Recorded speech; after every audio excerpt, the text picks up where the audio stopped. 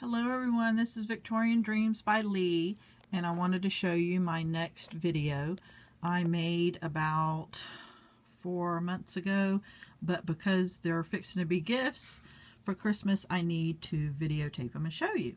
So what this is is a pocket.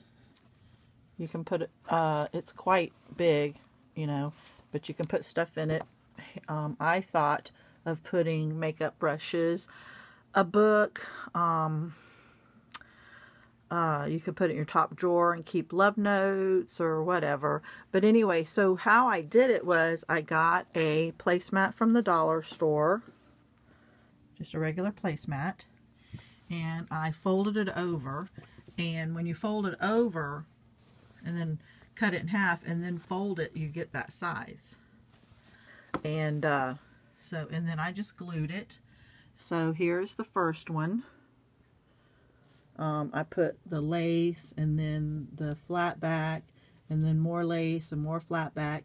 The pictures are from um, my stash off of Pinterest and it is on uh, fabric, printed fabric, and then I put felt behind it and it's cushiony and then the flowers and here's the second one I put flowers here because it's mimicking the picture. And then I got this. Uh, I'm wondering if I got this from Olivia. I'm not sure um, who I got that from. You think you're always going to remember, but you don't. So anyway, um, so yeah, and here's the back. Real simple.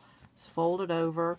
I just glued on the two sides here and then just added the lace and it's it's finished pretty nice and the um, this is padded also so you know and it gives you a lot of room to put stuff in.